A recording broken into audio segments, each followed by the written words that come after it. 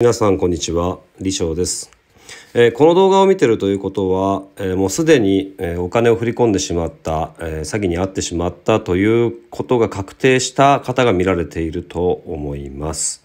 えーやっぱりね自分がいつ、えーどういうふうに詐欺を受ける被害に被害者になるなんて想像もしなかったと思います、えーなので皆様ね、えーとてもね、えー慌てているかと思いますがこの動画を、えー見つけてくださったというということなので僕はすぐに、えー対策についてお話ししていきたいと思っております、えー他の動画でね、えー PS5 の詐欺について僕が実際に会ってしまったことについて、えー動画にしたんですけど、えーそれでね、あのー他の詐欺のことにも、えー対応ができるかと思い、えーこちらの動画をアップさせていただきます、えーまず何をするべきなのかということを2つに分けてね、えー動画の内容ちょっとま以前のものと被るかもしれませんが、えー言っていきたいと思います。まず、えー即最寄りの警察署へ、えーご相談ください。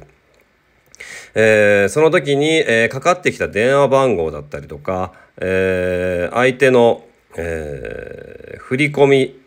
先銀行口座、えーそしてこちらが振り込んでしまった銀行口座の名称など、えー、全てね必要になりますので、えーとにかく警察の方から、えー聞かれることがたくさん多々あると思いますのでできたら、えーデータにするなり、まあ、あのご高齢の方だったら大変だと思いますが銀行口座を、え持参の上、えあとね振り込んだ先の、え振り込み履歴を持参の上で、えー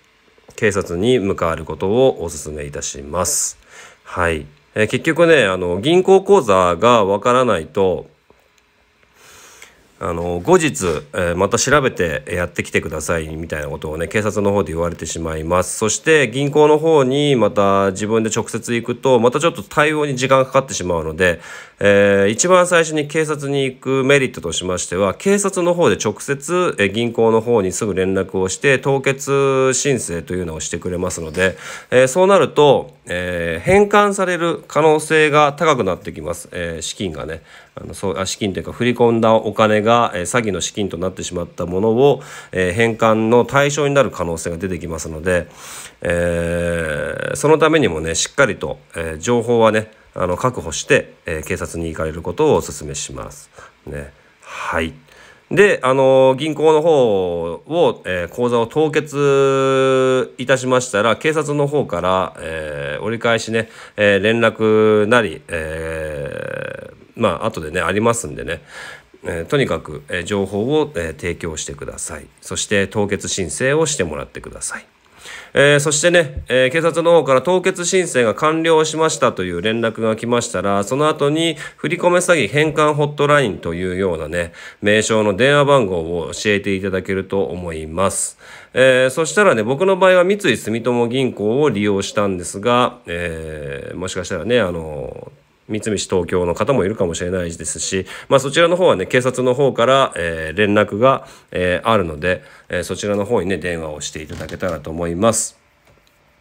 えーで以上が2つになるんですが、えーそのね2つ目の方のねその電話に関してちょっとねあのーお伝えしておきたいことがありまして、え電話がねあの詐欺被害がありすぎて本当につながらないです。あのとにかくつながりませんのであの電話番号を教えていただいたものに電話を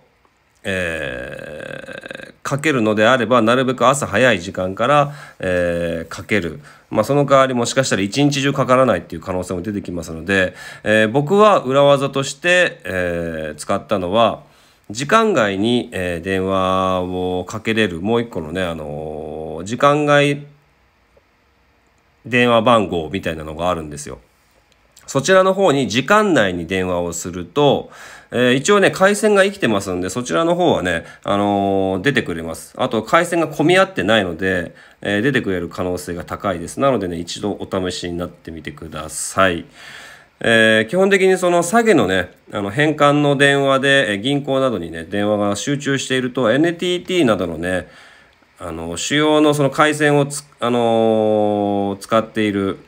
というか回線を通している、えー業者さんの方で、えー警察とか、まあ、救急のね連絡があの取れないとまずいので電話はつながらないとまずいので、え、そういうふうにね制限してしまっているのであの電話はつながらないです決してね銀行がそれを把握してるわけではないので銀行の方に、えー、電話がつながらないなどのクレームはしないようにしていただけたらと思います。はい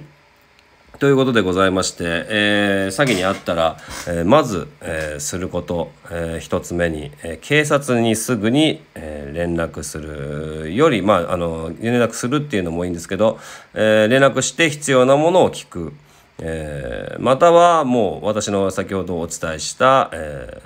ー、ものを準備して警察に向かう。はい、でその後に、えー、再度警察の方から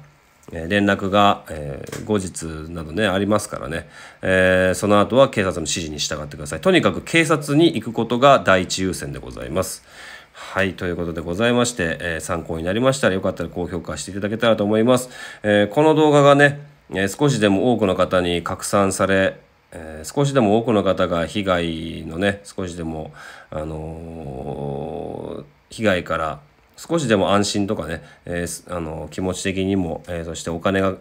また帰ってくるっていうことになればと思いますんでね。よかったら、あの高評価そしてシェアをしていただけたらと思います、えー、詐欺に遭われたお金については、えー、口座に残って凍結された口座の中に残っている、え金額を、えー、詐欺を受けてしまった人数で割って山分けという形になるそうです。はい。なのでね、あの、もしかしたらね、あの、お金は返ってこない可能性もあるかもしれませんが、えー、すぐに警察に連絡してください。ということでね、えー、また何か分かりましたら動画をアップしていきたいと思います。